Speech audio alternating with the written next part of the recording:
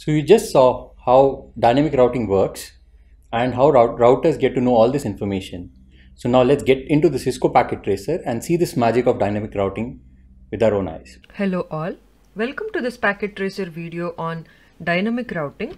In this video, we will see how to enable RIP in routers, how to see routing table generated by RIP, and how to see RIP in working. RIP stands for Routing Information Protocol is one of the protocols which uses distance vector algorithms.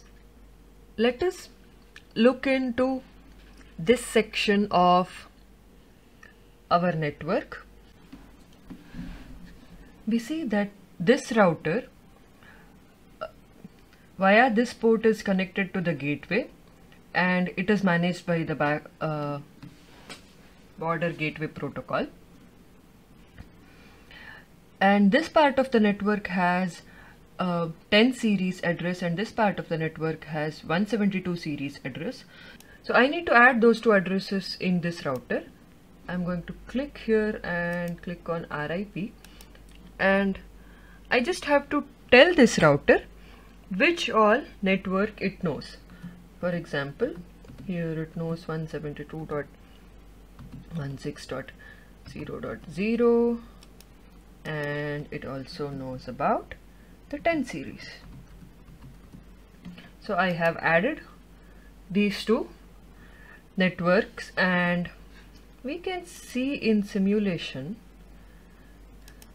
that RIP packets are actually sent from that router to other routers. If we can open one RIP packet then we can see that the device builds a periodic RIP update packet to send out to gigabit 0 slash 1 slash 0 that is this and it adds an update route of 10 series to the RIP packet. So that is being sent now. This is how you set up RIPs in a router.